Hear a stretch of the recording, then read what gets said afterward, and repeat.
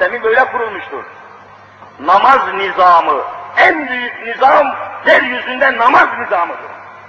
Namaz kılmayan bu nizamı parçalamıştır.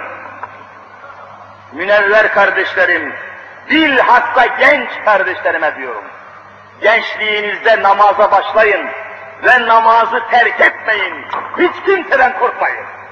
Gençliğinizde Resulullah Ahmedu Mahmudu Muhammed Mustafa sallallahu teala aleyhi ve sellem buyuruyor ki buyuruyor ki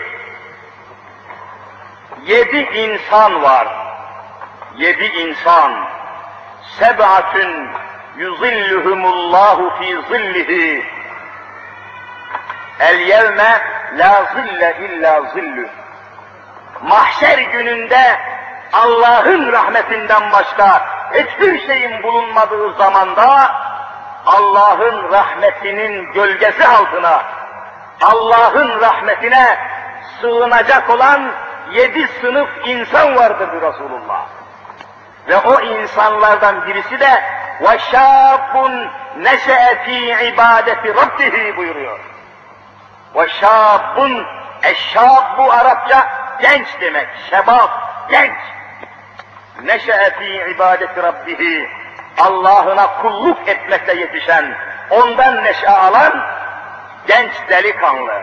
Onlar da Allah'ın mahşer günü rahmetinin altında gölgelenecekler. Gençliğinde namaza başlayanlar, dikkat edin. Genç iken, delikanlı iken, yetişkin bir insan kuvvetliyken, zindeyken, şehveti, şöhreti, serveti varken namaza başlayan. En mühimi budur. Onun için gençlerin kıldığı namazlar harikulade namazlardır. Genç delikanlıların şehveti yerindeyken denizlere, çarşılara, meyhanelere her türlü eğletmeyiniz. Büyük bir fırsatın eşiğindesiniz. Büyük bir makamın elindesiniz.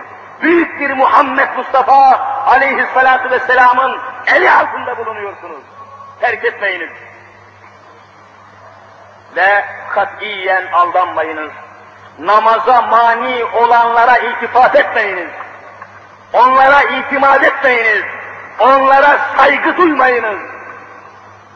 Bakınız Allahu Teala